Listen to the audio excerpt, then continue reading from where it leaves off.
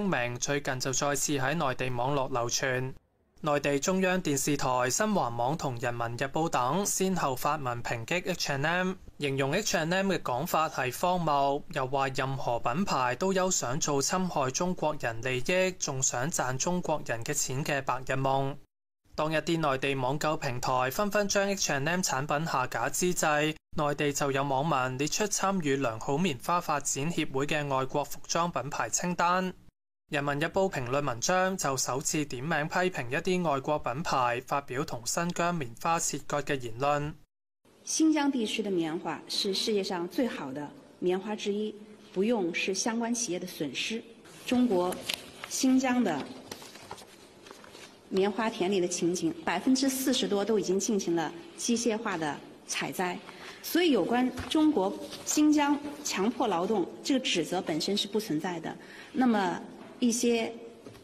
企业居然就相信了这种谣言，那么他自己怎么做是他自己的判断。但是有一点是肯定的，可能现在中国老百姓也不允许一些外国人一边吃着中国的饭，一边砸着中国的碗。